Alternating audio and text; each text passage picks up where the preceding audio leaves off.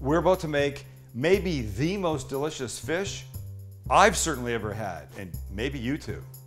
Okay, Nobu, a very famous Japanese restaurant, makes an amazing black cod. Amazing, it's delicious. It's marinated for 24 hours and all kinds of stuff is done to it.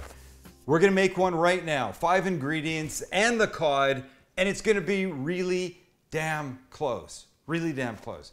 And you make it like that. And our sauce begins with a half a cup of soy, third of a cup of sugar, quarter cup of sake, teaspoon of minced garlic, the juice of one lemon, clove of garlic. Now we're gonna bring it to a quick little boil, turn it down to a simmer, and let it sit for seven, eight minutes till it starts to get thick and a little bit syrupy. Of course, stirring as we go. And let it do its thing. We want it thicker and syrupier than that. As the sauce is thickening, let's talk fish. I'm using black cod. Look at a gorgeous piece of black cod, also known as sablefish. This comes from a place in uh, Canada, off the west coast, Vancouver Island, called Gindara sablefish. It's farmed, and I'm pointing this out because a lot of people think farmed fish is bad, and it's only bad if it's made and farmed in a bad place that doesn't treat the fish properly. You know, you need to ask questions uh, from your fishmonger.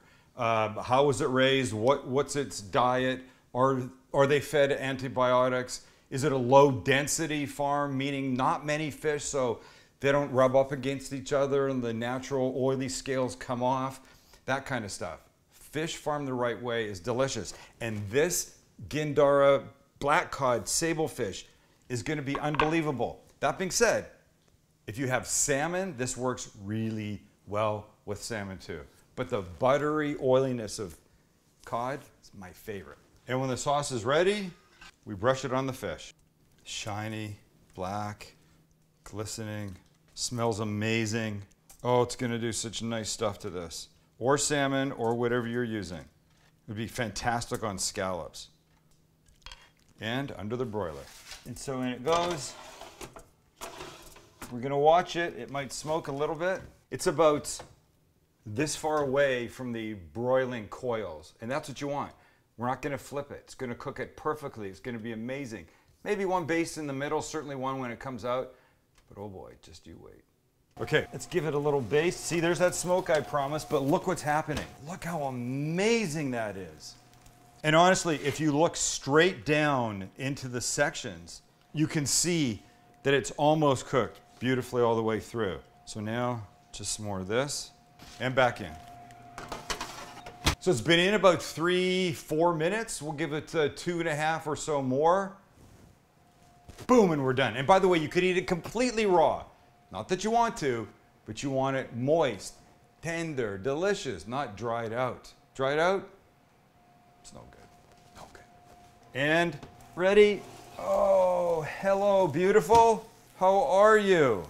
That is magnificent. Five ingredients plus the cod. Good Lord. And now before we try it, let's make it a little prettier. First some sesame seeds, then a little thinly sliced green onion. Get rid of that one. And here we go. I mean, come on. It's crazy beautiful. Can you imagine bringing this to the table for your guests? And then they take a gentle little piece. Okay. Buttery. It's perfect. I'm telling don't bake fish. Nobu's an amazing restaurant, but for way less money, you make this at home, make it look like this, you'll be a superstar of your neighborhood. Thanks for hanging out. Hit like, make a comment, subscribe, tell your friends, and come back next time. See ya.